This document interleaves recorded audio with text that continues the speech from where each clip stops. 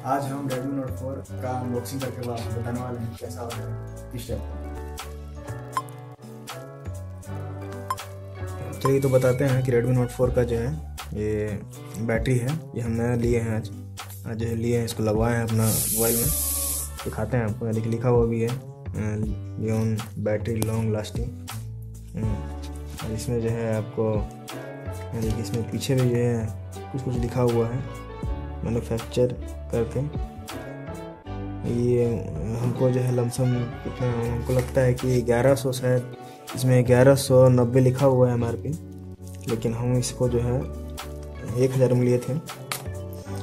आप इसको ले सकते हैं, देखिए दिखाते हैं आपको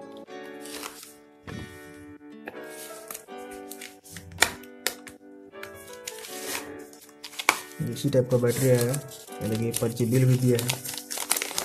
यानी बिल है ये। देखिए तेरह सौ निन्यानवे। बहुत ज़्यादा लगा दिया था।